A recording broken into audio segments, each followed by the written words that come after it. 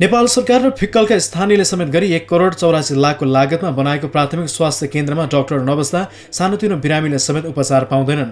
उपचारका लागि स्वास्थ्य केन्द्र पुगेका बिरामी समेत उपचार नपाई फर्कनु पर्ने अवस्था छ।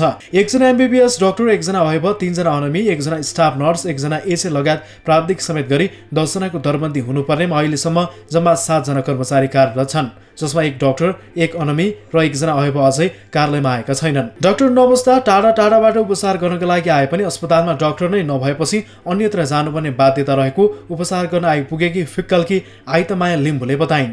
डक्टर नहुँदा हामीले टाढो जानुपर्ने हुन्छ। कहाँ कहाँ जानुपर्छ जस्तो टाढा भनेको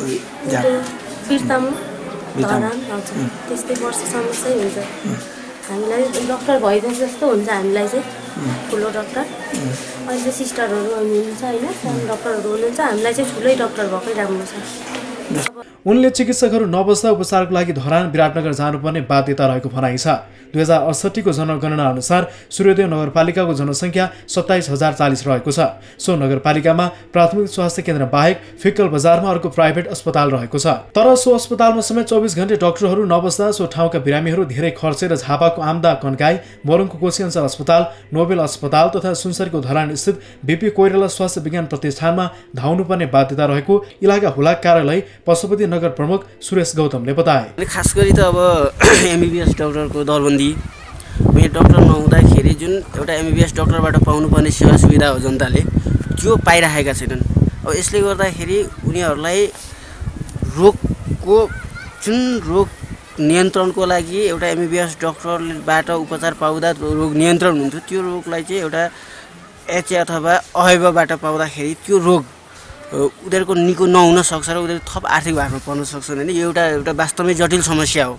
यो यसो राज्यले यत्रो भवन बनाइदिएको छ भौतिक सेवा सुविधा सम्पन्न छ र पनि एउटा एमबिबिएस डक्टरको दरबन्दी भएको ठाउँमा जनताले सर्वसाधारण जनताले एमबिबिएस डक्टरबाट पाउनुपर्ने सुविधा नपाइरहँदाखेरि वास्तवमा मार चाहिँ जनता नै परेका छन्।